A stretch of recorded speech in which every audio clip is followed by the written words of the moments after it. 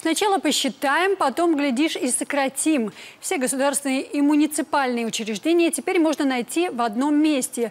Полный список общественных лиц подготовил регистр предприятий. В нем 2600 фигурантов. Кому это надо и как им пользоваться в сюжете Ксении Колесниковой.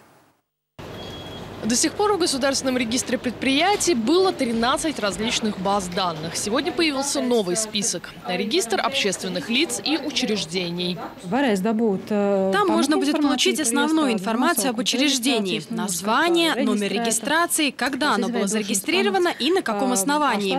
Можно будет узнать лицо, которое имеет право его представлять, его имя и фамилию, должность и срок полномочий. Также будет информация о реорганизации или ликвидации учреждения. В списке оказались все государственные и муниципальные структуры. Всего в нем более 2600 фигурантов. Создание регистра обошлось 150 тысяч евро. Для этого проекта были привлечены еврофонды. Путь от идеи до реализации занял 19 лет. Из-за нехватки политической воли, говорят бывшие руководители регистра предприятий.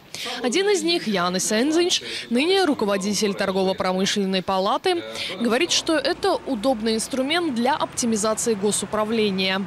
Сперва мы увидим, сколько вообще есть разных э, институций. И сейчас мы знаем точно, что это э, свыше 2600. Это очень много. И, конечно, э, сразу появляется вопрос, не слишком много ли. Да? И, и думаю, что это, эта цифра слишком большая.